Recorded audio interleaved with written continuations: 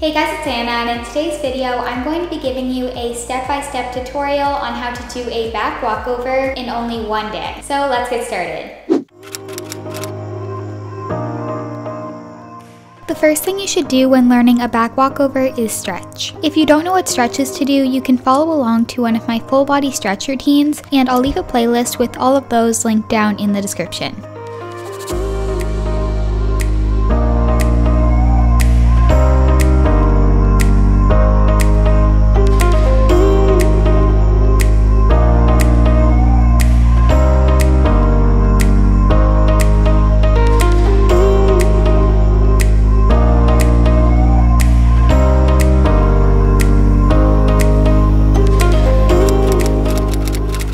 You also need to be able to do a back bend. To do this, lay on your back with your hands and feet on the ground, and then lift up your hips while straightening out your arms and your legs.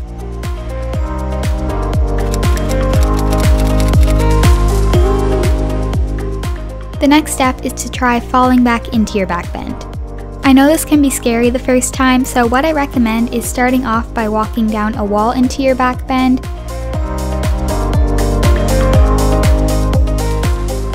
And then once you're comfortable with that, try falling onto a higher surface and gradually lower the surface until you can do it onto the ground.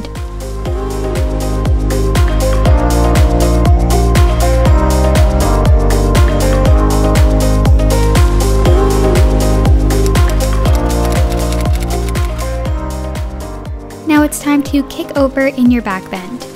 To do this, fall into your back bend with one leg bent and the other one straight. Then once you're in that position, lift up the straight leg while pushing off of the bent one to kick all the way over. If you can't kick over yet, start by doing it with your feet on a higher object and then decrease the height of the object until you can do it on the ground. This makes it a lot easier because when your feet are elevated, you're already part of the way over.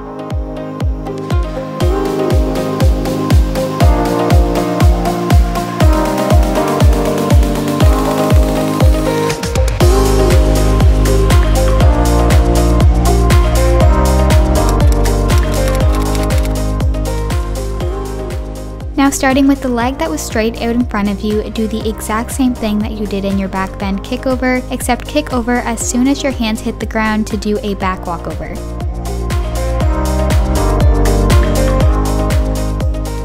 Then once you're comfortable with that and would like to make it more advanced, you can even try starting with your foot off of the ground. And that's it for this tutorial, so I hope it helps you get your back walkover. If you didn't get it in one day, just keep working at it by using these steps, and you should definitely be able to do it eventually. If you got your back walkover and want to learn how to do a front walkover, I just posted a video on that yesterday, and you can click here to watch it. To subscribe to my channel, just click here, and don't forget to press on the notification bell so you get notified every time that I upload a new video. Bye!